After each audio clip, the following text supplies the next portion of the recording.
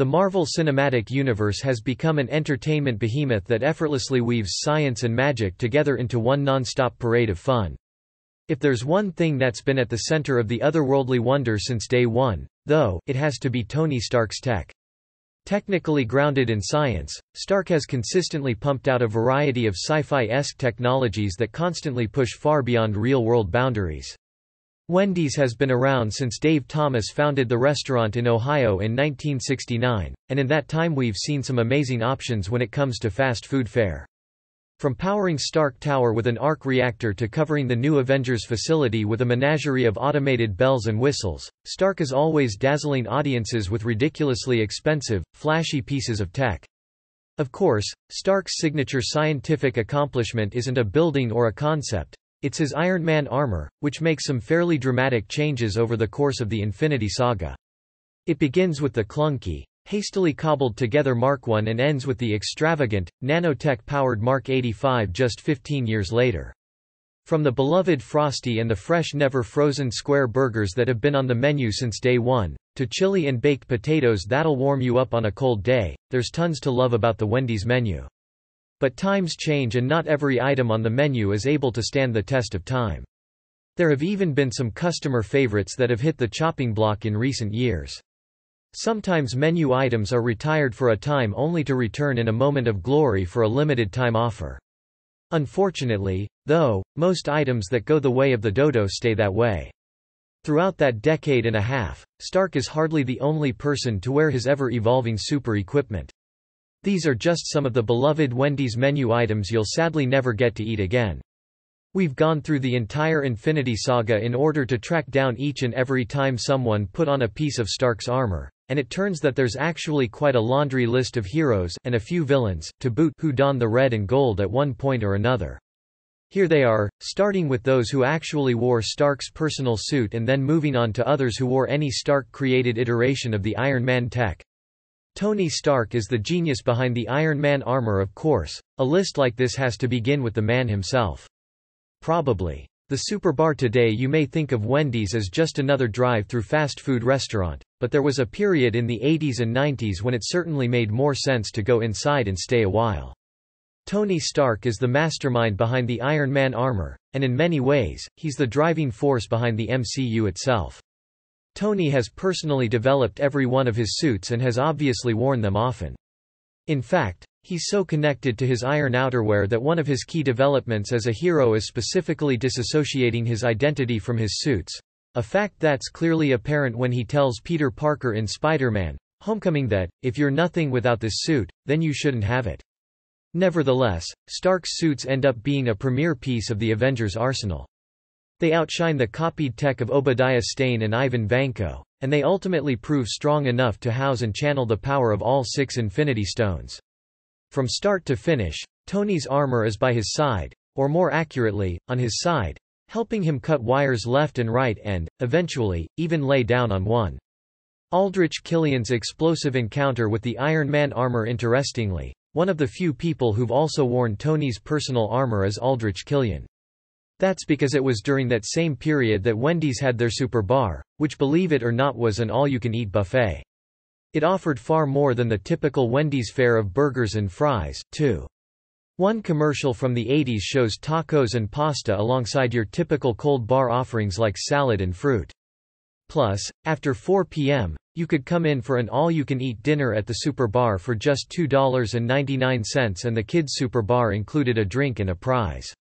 At one point, it even included pizza. The main Iron Man 3 villain and inventor of Extremis, Killian's fiery frame dons the Iron Man armor at the very end of the third film in Tony Stark's titular trilogy. As Killian's Extremis soldiers take on Stark's Iron Army by the docks, the battle eventually winds its way down to a duel between the protagonist and the hero, which, doesn't it always? With Killian's combustible corpse proving to be more than a match for Stark's armor in a fair fight, the Starkster pulls a quick one by sending his detachable armor to pin Killian down. With just seconds to spare before the villain melts his way through the suit, Stark politely asks Jarvis. And let's not forget the chocolate and vanilla pudding as a dessert offering. Even without the beloved Frosty, that's a pretty sweet deal. To, do me a favor and blow Mark 42. Of course, the explosion doesn't officially finish off the villain. Pepper Potts does a few moments later, in kick-ass fashion, we might add. Too bad it didn't last. Still, the quick event does mean Killian makes the shortlist of MCU individuals who actually wear Stark's personal armor, however briefly. Doctor Strange donned Tony's suit. Let's all have a moment of silence for the fallen superbar. Chicken Caesar pita Wendy's is nothing if not tuned into popular trends. Sort of what's that, you say? Stephen Strange once wore Iron Man's armor. Well, kinda. See, in Avengers, Infinity War, the pair of New York City-based heroes meet up for the first time, only to find themselves hurtling through space mere moments later on Ebony Maw's flying donut bound for Titan. With Spidey in tow, Stark eventually manages to defeat the child of Thanos, freeing Strange from the villain's tortuous needles in the process. The trio then goes on to join up with the Guardians of the Galaxy and confront Thanos on his home planet later on in the film. So where does Strange slipping into the Iron Man armor come into all of this? Well, it doesn't. Not in the final product. So when the all-you-can-eat buffet trend started to fade only to be replaced by the wrap craze of the late 90s, Wendy's stepped up to the plate. Not to be confused with the lettuce wrap craze of the early 2000s, the 90s wrap craze was all about tortillas and pitas, the latter of which Wendy's used as the vehicle for their wraps. Enter the Wendy's fresh stuffed pitas, which were marketed as something different for the bored lunch crowd. However, concept art for the movie that was released later on revealed the rather shocking image of Iron Strange, i.e. the most popular of these, the chicken Caesar pita, is luckily pretty easy to make on your own and there are plenty of copycat recipes out there. The Sorcerer Supreme in Tony Stark's armor. Plus, Wendy's still serves a Caesar side salad, so if you're feeling lazy, you can always toss that into a pita with some chicken, right? Still, it's just not quite the same. Unfortunately, despite years of urging from fans, it doesn't look like the chicken Caesar pita is returning anytime soon. The old French fry some things just shouldn't be messed with and Wendy's fries are among them. The description indicates that the idea was for Stark to send his armor to protect Strange from the Maw's torture device, freeing him up to fight the villain in a less painful manner. We're not even talking about a single piece of concept art here, either. They actually filmed the scene, it just never got into the movie. Maybe the logistics of getting the suit onto Strange without further pushing in the needles in the process just didn't work out. Either way, since it was officially filmed, we're going to count Strange as one of two MCU heroes who officially wore Stark's personal armor throughout the course of the Infinity Saga.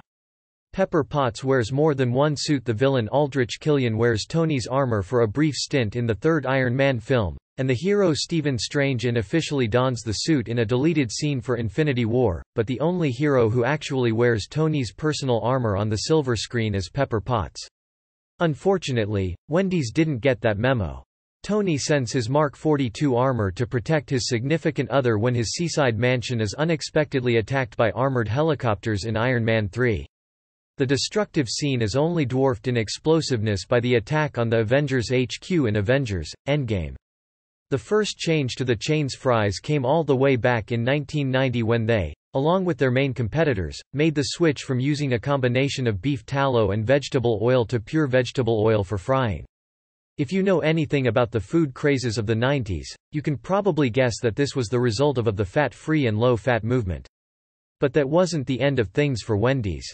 Just as customers were getting used to the new fries, Wendy's debuted their natural cut fries in 2010. Once in the armor, Potts tries to shield Stark and then quickly gets Maya Hansen, Rebecca Hall, out of harm's way, all before Tony signals his armor to come flying back to him so he can face the choppers head-on. Of course, that isn't the only time Pepper wears Stark's tech. She's one of the very few who actually get their own personalized suit, as well. In Endgame, we see Potts show up to the climactic final battle in the rescue armor, which she proceeds to wield like a pro. These fries have the skin on and are sprinkled with sea salt, and they're a direct attempt to capitalize on the real food movement. This makes Potts one of only two people on this list to both wear Stark's personal armor and her own suit, a right that she earns in spades after years of dealing with Tony's eccentric personality behind closed doors. Whether he's War Machine or Iron Patriot, Rhodey is always awesome. Next up, we have Stark's best bud, James Rhodey Rhodes. Rhodey has been by the Starksters' side since Iron Man, albeit with a quick actor swap along the way, and he's had a chance to spend more time in Iron Man armor than practically anyone else besides Stark himself. Initially billed as the Iron Patriot, Rhodey eventually settles down into his superhero persona as War Machine, donning Stark's tech time and again as he faces threats like Aldrich Killian, Whiplash, Thanos, and even other Avengers. Now, at first glance, it seems like Rhodey should be counted as someone who's only worn spin-off variations of Stark's personal armor, since he's generally seen wearing a beefy Iron Man suit that was specifically developed for his own use. Just take the tagline, you've had fries. However, die-hard fans will quickly recall that Rhodey's original run-in with Stark's tech isn't in his own suit at all but rather the Mark II. Now try some real fries. Some people love them, some people don't, but the real question is, can they still be dipped in a Frosty? Yes. Then we're good here. Frescata sandwiches back in the early to mid-2000s, deli-style sandwiches were all the rage. Desperate to calm his drunk friend down, Rhodey's first use of the Iron Man armor comes when he steals the Mark II suit to beat down his best friend at Tony's birthday party. Subway, Blimpie, and Quiznos were leading the pack as consumers tried to eat healthier. Of course, not long after that, he's given his own suit, and the rest is history. Eric Savin wears Iron Man armor for one quick scene The least important person to ever don Iron Man armor has to be Eric Savin. So in 2006, Wendy's once again embraced a food fad and introduced their own version of deli-style artisan sandwiches called frescatas. According to a press release at the time of their debut, the deli sandwich category, which continues to expand, represents a growth opportunity and another way for us to meet our customers' needs. The bread was freshly baked, the deli meats were marketed as high quality and they took a long time to make, at least compared to Wendy's burgers. It was this long preparation time that allegedly led to the demise of the frescata. Despite attempts to keep the excitement alive by adding new varieties, in 2007, just a year later the frescata sandwiches were phased out and removed from the Wendy's menu. Coffee Toffee Twisted Frosty The Frosty. The Aldrich Killian henchman plays a fairly important role throughout Iron Man 3, but realistically, he's little more than a plot device, a plot device that wears Iron Man armor. Savin suits up in the Iron Patriot armor after it's literally cooked off of Rhodey's body by Killian's red-hot hands. Disguised as Rhodes, Savin then joins President Matthew Ellis at the last minute as he boards Air Force One. Once on board, Savin sabotages the flight, using a combination of the armor and his own extremis abilities to easily overpower everyone on board. You know it, you love it. Once he's captured the president, he takes off the armor and swaps into a much less impressive airline uniform to complete his mission. But do you remember when Wendy's branched out from their basic chocolate and vanilla Frosty by adding other flavors? The year was 2009 and the Frosty was lagging behind the Dairy Queen Blizzard and the McDonald's McFlurry when it came to frozen dessert recognition.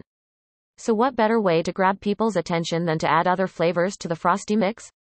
There were several different flavors to choose from, but one truly stood out among the rest, the Coffee Toffee Twisted Frosty. It's obvious Wendy's really thought this one would last judging by the relatively high production commercials that also capitalized on everyone's love of boy bands. Just like your favorite boy bands, though, it just didn't last and was retired two years later in the summer of 2011. Despite petitions to bring it back to menus, you'll just have to add coffee and toffee to your Frosty yourself pretzel bacon cheeseburger Let's face it, there are only so many ways to make a hamburger stand out in a sea of hamburgers. Interestingly, although he's little more than an MCU footnote, the entire sequence does let us see Savin actively using Stark's equipment in active combat more than any other villain on the list. Even the President of the United States gets to wear some armor the name Matthew Ellis likely doesn't jog the memory of many casual MCU fans, and no wonder. In 2013, Wendy's decided to take a chance and change up the bun itself. Pretzel buns were a hit both at Wendy's locations and on social media, with the restaurant soliciting pretzel love songs, a marketing tactic they also used in their commercials. And while people did indeed seem to love the pretzel bun in general, it was as part of the pretzel bacon cheeseburger that it really found its niche. The burger was briefly discontinued, but Wendy's brought it back in summer 2014, ultimately going so far as to add it to their permanent menu. The fella has very little impact on the greater cinematic universe during his lone outing in Iron Man 3 with the one glaring exception that, well, he's the President of the United States of America. When you're the POTUS, you're going to be the center of attention one way or another. Which is precisely why, towards the end of the movie, we see a kidnapped President Ellis suspended over a container terminal, waiting to be executed on live television. Oh, and did we mention that he's wearing Iron Man armor? That's right. Then again, nothing lasts forever. The POTUS is one of the few MCU characters who get to wear Stark's tech, although if given a second chance, he likely wouldn't wish to repeat the ordeal. President Ellis finds himself thrust into the Iron Patriot armor when Eric Savin captures him on Air Force One. Wendy's once again discontinued the pretzel bun in 2015 with a spokesperson telling Brand Eating, the launch of the pretzel bacon cheeseburger in 2013 is still one of the most successful limited-time offerings in Wendy's history. Who knows, maybe they'll bring it back again someday. All things queso cheese is nothing new at fast food restaurants. Just look at the humble but delicious cheeseburger, but 2017 could easily be considered the year of cheese, specifically queso. From there, he's delivered right to the feet of Aldrich Killian, who puts him back in the suit in order to kill him in the very armor that the president thought would be used to protect him. Shortly after Chipotle debuted a new and improved, but still disappointing queso dip and McDonald's added cheesy loaded fries to their menu, Wendy's added three new queso-drenched items to their menu, the bacon queso burger, the bacon queso chicken sandwich, and bacon queso fries. If that alone sounds amazing to you, consider the items were also topped with shredded cheese. Wendy's chief concept and marketing officer, Kurt Kane, said in a statement in 2017, Nobody does fresh beef, chicken sandwiches and topped fries like Wendy's, so we've taken three things our customers already love and made them even better by adding queso. Though they were always marketed as being available only for a limited time, that doesn't make it any less sad that they're gone. Gouda bacon cheeseburger It may not seem like much after talking about a burger that's covered in queso, but the bacon Gouda burger at Wendy's combined people's love for cheese with their love for interesting burger buns and a whole lot of delicious toppings. Not only did the bacon Gouda burger contain its namesake sliced Gouda cheese, it also had a Swiss Gruyere sauce, garlic aioli, bacon, red onions, tomato, and spring mix, all on a brioche bun. Did we mention it was a quarter pound of beef? Steeped in sports-heavy marketing, the Bacon Gouda burger was always meant to be a limited-time offering. Still, when its clock ran out, customers were devastated, begging for the item to be reinstated as a permanent menu fixture. Of course, Ellis isn't actually assassinated. Stark and Rhodey show up in time to orchestrate a daring rescue mission, and eventually, Rhodey saves the president, reclaims his suit, and spirits the unarmored world leader to safety. Peter Parker took on Thanos with the Iron Spider suit Peter Parker and Tony Stark share a special bond in the MCU. And honestly, with all the money Wendy's must have spent on the commercial with Terrell Owens and Vince Young, you'd think they would have kept it around longer. Spicy Chicken Nuggets In 1996, Wendy's debuted their original spicy chicken sandwich and it became a customer favorite, no small feat for a burger joint. With Uncle Ben absent by the time Parker's story begins, Stark steps into the mentor father figure role and helps to groom the fledgling genius and instruct him in the superhero ways. All of this special attention from the Tony Stark naturally means Parker ends up getting access to quite a bit of Tony's tech. He gets his silky Spidey suit early on, and he's gifted the EDITH sunglasses in Far From Home. Then, in 2010, Wendy's once again brought the heat with their spicy chicken nuggets. However, one of the best Stark gifts of them all has to be his Iron Spider suit. Parker first gets the gift when he hitches a ride with Doctor Strange and Ebony Maw onto the flying donut above the Big Apple. As the spaceship takes off and the air begins to get thin, Stark unlocks Package 17 oh, from the Avengers HQ. The shiny little bundle hurtles through the air and then opens up, catching the Crime Stopper from Queens just as he loses his grip and enveloping him in his new suit. Parker continues to sport the armor in Endgame, and while he leaves it behind on his field trip to Europe, we're hoping we'll continue to see this arachnid-inspired manifestation of the Iron Man armor for years to come. Bruce Banner took the Hulkbuster out for a spin Bruce Banner is a fairly timid fellow. They were delicious and they were inexpensive, so needless to say, they became the backbone of Wendy's for a lot of people. Then, in 2017, Wendy's attempted to quietly remove them from the national menu. But because nothing happens quietly in the era of Twitter, Fans rallied in their outrage, forcing Wendy's to formally announce the spicy nugget retirement and assuring upset customers that the decision hadn't been made lightly, and that the spicy nuggets would still be available at a few select locations. Still, Wendy's didn't listen to their pleading customers about reinstating the nuggets, so Burger King did, adding spicy chicken nuggets to their menu and offering customers named Wendy a free order. Sure, the knowledge that, if push comes to shove, he can't really get hurt, thanks to the other guy, is a bit of a confidence booster, but overall, he's far more brains than brawn. Hence, there's the need for Banner to hop into some Iron Man armor in Infinity War. Sadly, Wendy's spicy chicken nuggets are still missing from the national menu. Wild Mountain Chicken Sandwich Speaking of spicy chicken, no list of discontinued Wendy's items would be complete without the Wild Mountain Chicken Sandwich. Yes, there was a Wild Mountain Bacon Cheeseburger as well, but it didn't quite live up to the standards of the chicken sandwich. The Wild Mountain Chicken Sandwich took the original spicy chicken and turned it up a notch with a spicy southwestern sauce, Colby cheese, and bacon. If we've learned anything, it's that Wendy's customers don't like it when their spicy chicken is taken away, and that was also the case with the Wild Mountain Chicken Sandwich. Even though Wendy's launched a new limited-time offering with their Sriracha chicken sandwich, it was a poor substitute for many Wild Mountain Chicken fans. Despite a Facebook group demanding its return, Wendy's has given no indication the Wild Mountain Chicken sandwich will ever be coming back.